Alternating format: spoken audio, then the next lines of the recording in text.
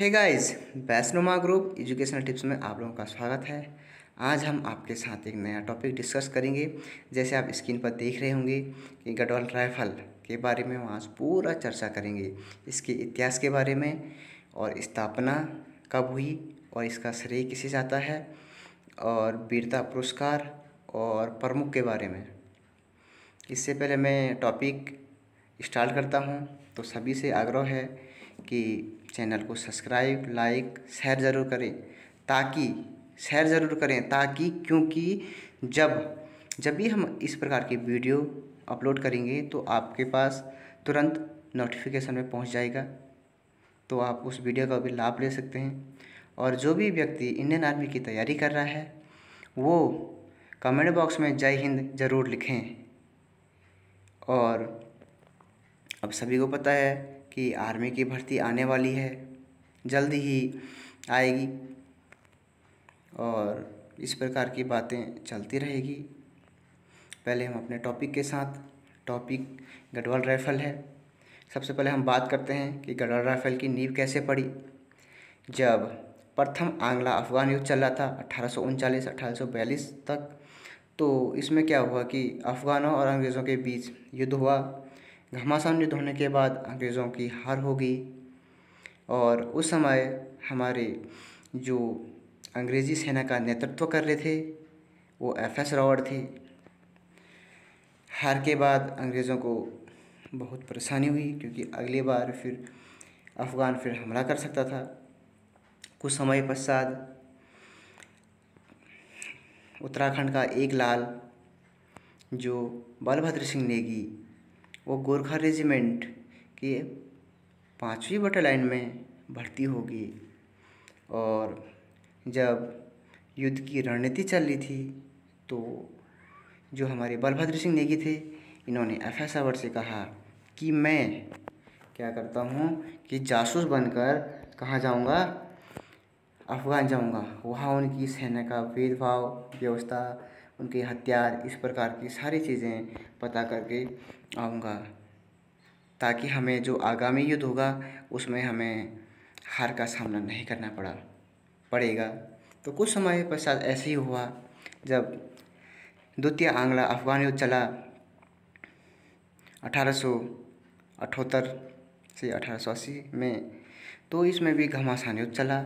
और जो हमारे बलभद्र सिंह नेगी थे, इन्होंने अपनी सूझबूझ और वीरता से अफ़गानी सेना को पराजित करा और और भी सेनाएँ होंगी और भी अंग्रेज़ी सेना होंगी। तो इसमें क्या हुआ कि जो एफ़ एस रॉबर्ट था, इसने पूरा श्रेय बलभद्र सिंह नेगी को दिया गया इस जीत का।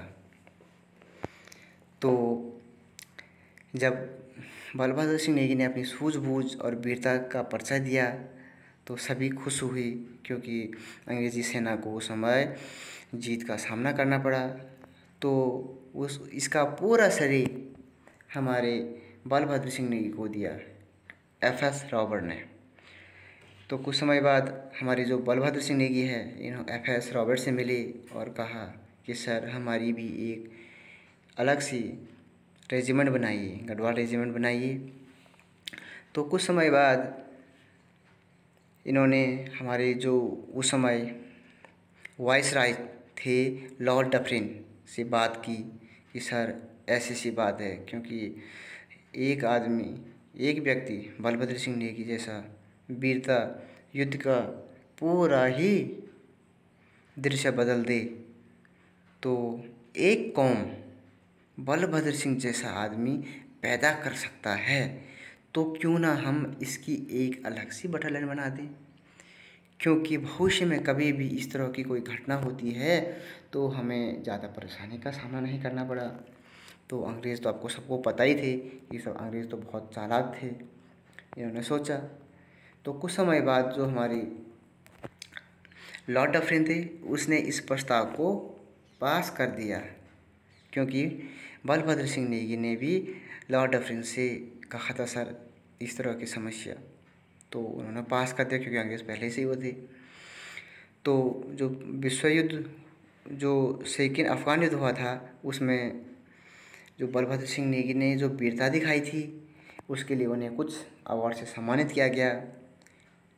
बलभद्र सिंह नेगी को प्रथम award order of merit award से सम्मानित किया गया। और इस अवार्ड को प्राप्त करने वाले पहले व्यक्ति थे। इससे पहले किसी को ये अवार्ड नहीं दिया गया था। और दूसरा, बलभद्र सिंह नेगी को लाट सुबेदार की उपाधि भी से नवाजा गया। यह उपाधि जो एफ़ एस रॉबर्ट थे, उसके नीचे काम करना था। इतनी बड़ी पदवी उन्हें अंग्रेज़ों द्वारा दी गई। और थोड़ा हम बलभद्र सिंह नेगी के जीवन परिचय पर थोड़ा फोकस करते हैं। बलभद्र सिंह नेगी इनका जन्म 1821 में पौड़ी ज़िले के हेड़ा खोली नामक स्थान में हुआ था। और यह क्या हुई? बहुत ही छोटी उम्र में ये गोरखा रेजिमेंट की पाँचवीं बटालियन में भर्ती होगी। सत्रह साल में हो गई थी भर्ती। और इसके बाद, कुछ समय बाद कटवाटे फल की स्थापना होगी और इसका पूरा श्रेय बलभद्र सिंह नेगी को जाता है। और कुछ समय बाद गडवारे फल की स्थापना हुई। इसकी पहली स्थापना पाँच मई अठारह सौ अठहत्तर में गढ़वाल की पहली बटालियन अल्मोड़ा में स्थापित की गई। सॉरी, अठारह सौ सतासी में पहली बटालियन की स्थापना अल्मोड़ा में हुई और यह कुछ ही समय, चार या पाँच महीने के लिए ये अल्मोड़ा में रही। कुछ समय बाद इसे क्या किया गया? कालों का डांडा, लेंसडोंड, स्थानांतरित की गई। चार नवंबर अठारह सौ सत्तासी ईस्वी को यह क्या? कालों का डांडा में स्थानांतरित की गई। पहले लेंसडोंड का नाम कालों का डांडा था। आपको पता है, गढ़वाल में डांडा का मतलब क्या होता है? कि जहाँ हम जंगल टाइप का जहाँ हम रह, वो क्या करते थे? गाय भैंसों के साथ आते थे। और जो लेंसडोंड नाम रखा गया, उस समय का तत्कालीन वॉइस रॉय था, उसके नाम पर लेंसडोंड रखा गया, कालों का, डांडा का। और एक गढ़वाल राइफल को नई पदवी बयानवे में।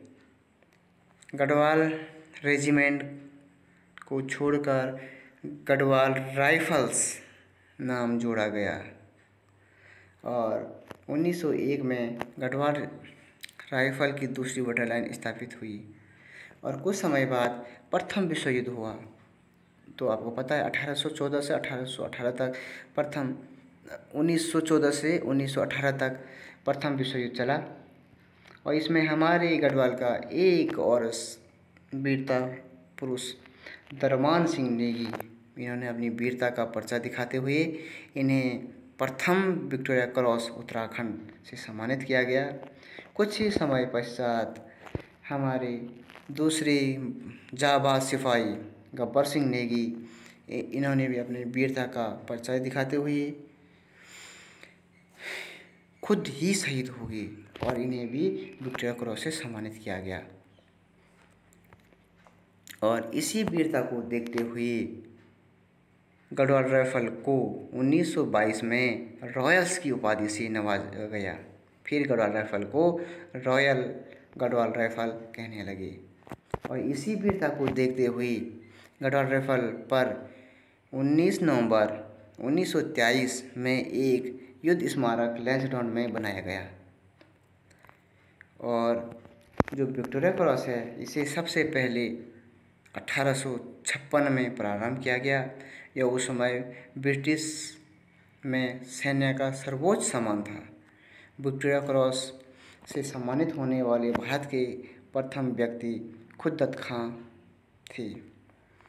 और हमारे गढ़वाल राइफल से विक्टोरिया क्रॉस सम्मान सर्वप्रथम दरबान सिंह नेगी को दिया गया। दरबान सिंह नेगी को यह सम्मान 1914 में दिया गया। थोड़ा इसकी जीवन परिचय पर थोड़ा डालते हैं। तो उन्नीस चार मार्च अठारह सौ तिरासी में ग्राम कफर तीर चमोली में दरबान सिंह का जन्म हुआ और 24 जून 1950 में इनकी मृत्यु होगी और यह उनतीसवीं बटालियन में यह कार्यरत थे। सॉरी, उनचालीसवीं बटालियन में यह कार्यरत थे। दूसरा हमारा गब्बर सिंह नेगी। इन्हें भी 1915 में विक्टोरिया क्रॉस से सम्मानित किया गया।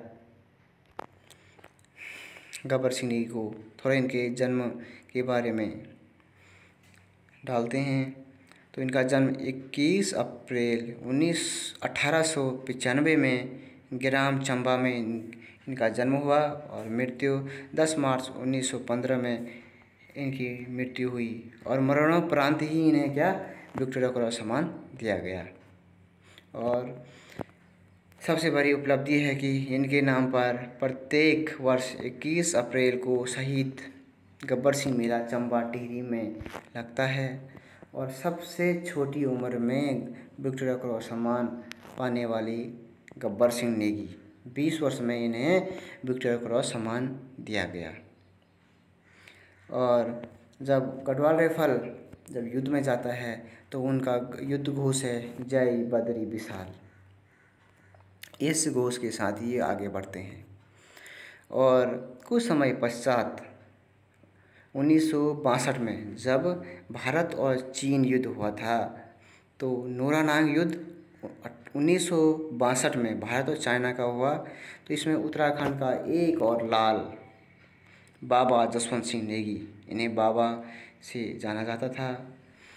इन्होंने बहत्तर घंटे युद्ध खुद लड़ते हुए युद्ध की तस्वीर बदल दी थी और खुद भी शहीद हो गई और जसवंत सिंह रावत को मरणोपरांत महावीर चक्र से सम्मानित किया गया और इनका जन्म पौड़ी में हुआ था 19 अगस्त 1941 में।